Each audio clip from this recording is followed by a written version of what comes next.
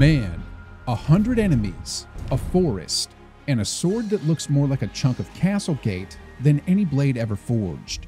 This isn't some over the top fan fiction. This is Berserk. But is there any actual science to back any of this up? How far could the human body realistically go in terms of strength, endurance, and pure unbreakable will? Today, we're putting guts under the microscope, figuratively, of course, and breaking down with real world physics and biology whether anyone even remotely like him could exist. And where else could we begin but with the most absurd weapon in all of medieval fantasy, the Dragon Slayer?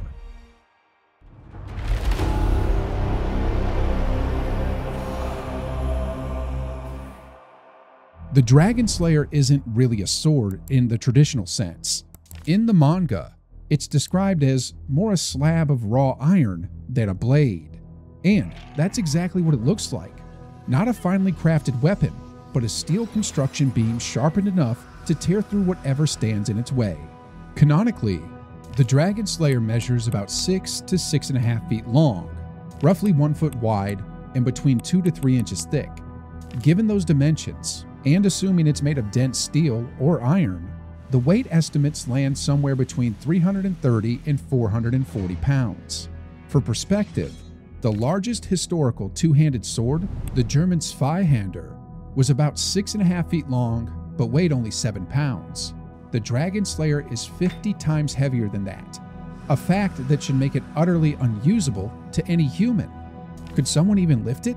Technically, yes, the world record for the clean and jerk is 580 pounds, set by Georgian weightlifter Lasha Talakhadze. But that's under ideal conditions balanced barbell, perfect form, and a single explosive motion. Guts doesn't have a perfect barbell. He's gripping an unbalanced slab of metal, swinging it, spinning it, controlling it, and repeating the motion hundreds of times in chaotic full contact combat. And here's where torque comes into play. If the weapon's center of mass is just 2 feet from the grip, holding it would require around 8,800 newton meters of torque. That's enough to tear a normal shoulder apart. You'd need tendons and ligaments reinforced like hydraulic cables just to keep the weapon steady. Swinging it adds another layer of impossibility. Even at a conservative 22 miles per hour, each strike would deliver about 9,000 joules of kinetic energy, more than five times the impact of a 5.56mm rifle round. And while that sounds devastating, it also means the user's body has to absorb the counterforce from every swing. Most people struggle to swing a 20 pound sledgehammer for more than a half hour. Guts does it with over 300 pounds for hours with precision. Biomechanically, that's fantasy. The shoulders would suffer structural failure. The lower back would collapse under torque stress the wrists and elbows would dislocate. But Guts, he treats the Dragon Slayer like an extension of his own arm.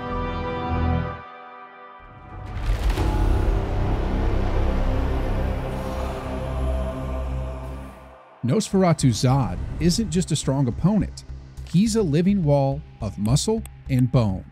Standing over 8 feet tall, He's capable of crushing stone with his bare hands and tossing fully armored soldiers like rag dolls. In the manga, Zodd can throw an armored soldier several yards through the air. If we assume a soldier weighs 200 pounds plus 60 pounds of armor, that's 260 pounds total. Throwing that mass 16 feet and 6 feet into the air requires around 2,500 to 3,000 joules of energy in less than a second. Now imagine a direct hit a punch or a sword strike from Zodd could easily generate 10,000 to 20,000 joules of impact, depending on the speed. That's equivalent to being slammed by a medieval battering ram at full force. Even if Guts blocks with his sword, the energy doesn't disappear. It travels straight into his arms, shoulders, and spine. That would shatter forearms, dislocate shoulders, and compress vertebrae instantly. And yet, Guts takes the hit and counterattacks. That isn't just strength, it's coordination, tactical skill, and a pain threshold far beyond normal human capacity. A normal fighter wouldn't even survive one strike from Zodd. Guts survives multiple and keeps coming.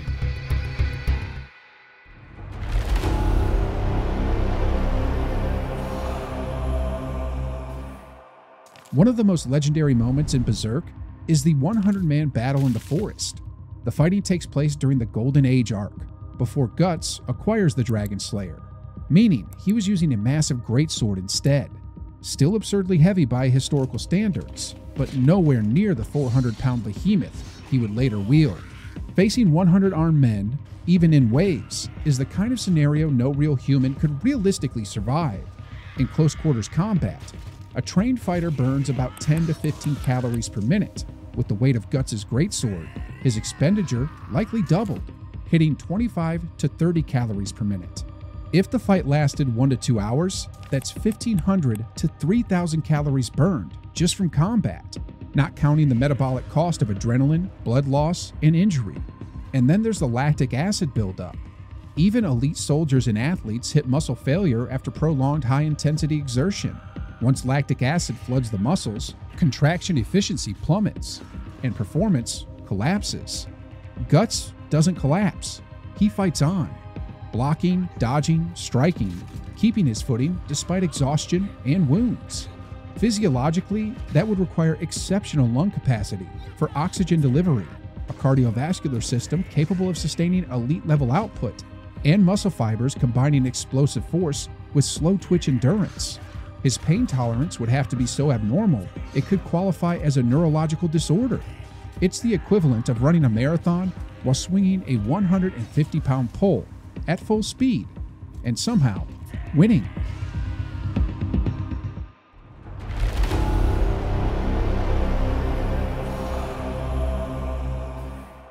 If everything Guts does already sounds physically impossible, the Berserker armor cranks it up to an entirely different level, one that defies not just biology, but the very purpose of the body's survival systems.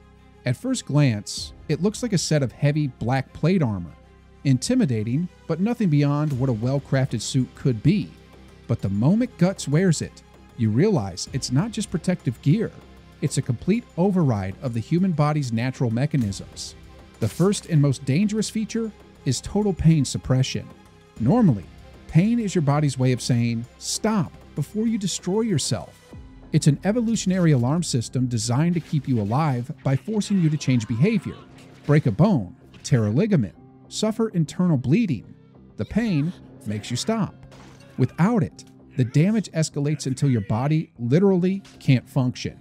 The Berserker armor takes that alarm system and cuts the wires, if Guts fractures his arm, the armor's internal spikes drive directly into the injury, locking the bones into place so the limb can keep functioning. Torn muscle, crushed ribs, the armor braces them in real time. It's like a medieval exoskeleton that doesn't heal, it forces. The armor isn't concerned with recovery. Its only goal is to keep the user fighting until the battle is over, or until there's nothing left to fight with. In the real world, People with congenital insensitivity to pain, a rare neurological condition, often live shortened lives because they simply don't stop when they're injured. They burn themselves, break bones without realizing it, and wear down joints at a terrifying speed. Guts is essentially given that same condition, but in the middle of life or death combat, against opponents that could tear a normal human in half. But the armor's most terrifying aspect isn't physical, it's psychological.